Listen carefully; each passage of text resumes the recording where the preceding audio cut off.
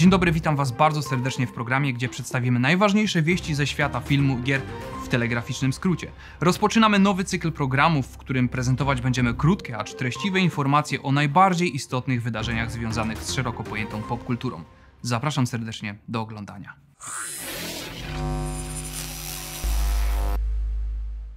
Na początku lutego zadebiutuje w końcu długo wyczekiwany Dying Light 2. Gra Techlandu, mimo przekładania daty premiery i sporych zawirowań podczas produkcji, cały czas wzbudza spore zainteresowanie graczy. Po udanym i stanowiącym dla studia przepustkę do pierwszej ligi Dying Light, oczekiwania są jednak na tyle duże, że niełatwo będzie je zaspokoić. Pozostaje mieć nadzieję, że Techlandczycy jednak dowiozą i nie będziemy mieli powtórki z Cyberpunkiem.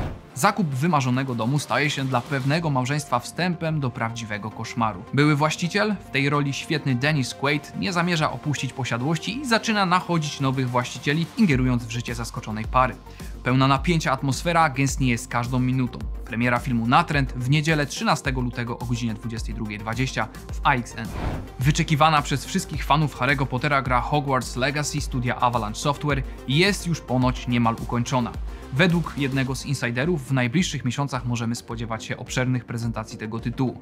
Premierę, jeśli nie wydarzy się nic złego, zaplanowano na trzeci kwartał tego roku. 4 lutego to dzień premiery najnowszej superprodukcji Rolanda Emerisia zatytułowanej Moonfall. Tytuł należy traktować dość dosłownie. Wybity z orbity przez nieznaną siłę Księżyc zaczyna zmierzać w kierunku Ziemi. Grupa odważnych astronautów wyrusza na misję mającą uratować naszą planetę. Zapewne czeka nas charakterystyczne dla tego reżysera pełne rozmachu i efektowne katastroficzne widowisko.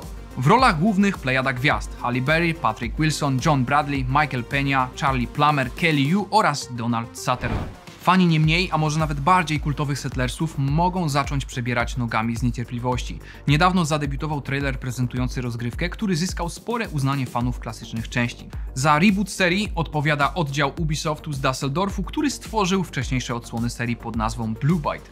To naprawdę daje nadzieję, że otrzymamy nowoczesnych, ale prawdziwych Settlersów. Przekonamy się o tym niedługo, ponieważ premierę wyznaczono na 17 marca tego roku. Kiedy będąc w średnim wieku decydujesz się zostać szeregowym policjantem w LAPD, możesz liczyć na masę kłopotów. John Nolan udowadnia jednak, że nawet w takim wieku można zacząć życie niemal od nowa, a doświadczenia, determinacja i poczucie humoru to potężne atuty. W czwartym sezonie serialu Rekrut odwiedzi m.in. Gwatemalę, by ratować swoją koleżankę. Premiera nowego sezonu w AXN we wtorek 22 lutego o godzinie 21. Według doniesień branżowych, remake kultowego Knights of the Old Republic może znacząco różnić się od pierwowzorów w warstwie mechaniki. Niepokój starych fanów budzą pogłoski o zręcznościowym systemie walki, czy chociażby zapowiedź odświeżenia ścieżki dźwiękowej. Nie jest jednak wszakże wykluczone, że dostaniemy wybór możliwości trybu rozgrywki. Oby tylko nie ruszali fabuły, ta bowiem mimo upływu lat ma się naszym zdaniem wciąż bardzo dobrze. Według Forbesa CD Projekt Red po miesiącach ciszy przygotowuje dużą i ważną łatkę do Cyberpunka 2077. Poza poprawieniem szeregu błędów i niedoskonałości ma ona ponoć odblokować nowy tryb rozgrywki. Nowa gra plus. Twórcy zdementowali natomiast plotki, jakoby nowy patch miał być tożsamy z bliżej nieokreśloną wersją Samurai Edition.